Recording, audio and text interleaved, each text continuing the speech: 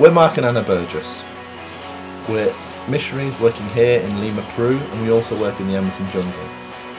We're a family on mission, and we're here with our sons Daniel, Joel, and Caleb.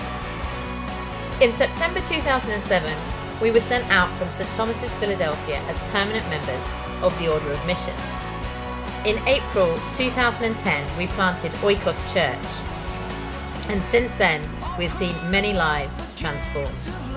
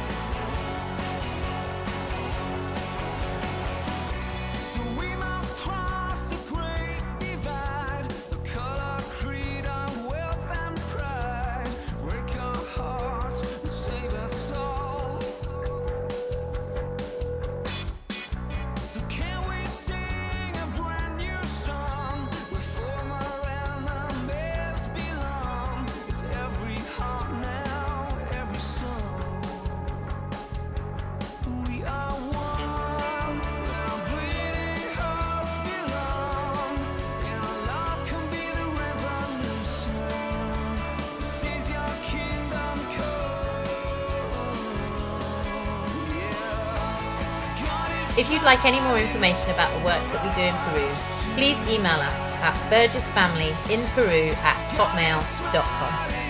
Thank you.